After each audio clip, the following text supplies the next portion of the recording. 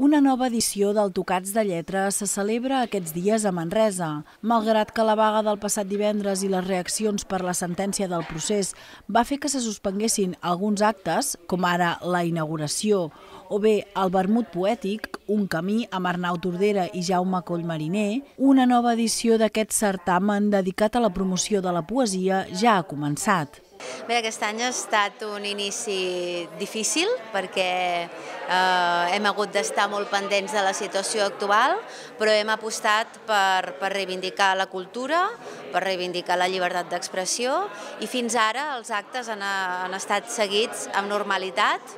Eh, algun artista no ha pogut venir,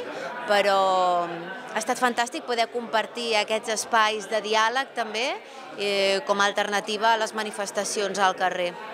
Enguany, la radicalitat és el nexe de reunió d'aquest Tocats, un festival que està centrat en la poesia, però que és multidisciplinari i transversal. Jo penso que és un festival que ha aconseguit aglutinar diverses persones, diversos tipus de públic. No només uh, tenim el lector empadreït de poesia, sinó també persones que potser um, els costaria de llegir-se un llibre de poemes a casa, però gaudeixen uh, de la lectura a la plana de l'OM uh, teatralitzada o fins i tot de, de quan algun artista plàstic o, o músic acompanya la paraula. Jo penso que això també ajuda uh, al públic menys um, menys avasat a la poesia.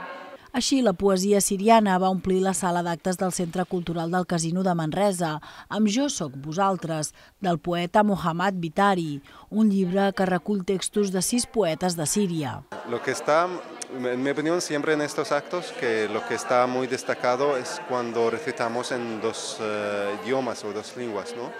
Es una cosa muy importante porque estamos bueno, fa temps estem intentant fer un bon entre aquest, uh, aquests dos uh, llengües, uh, àrab i català, i intentant traduir uh, del català a l'àrab i de l'àrab al, al, al català, perquè no hi ha després mm, de, bueno, estem al segle XXI i no tenim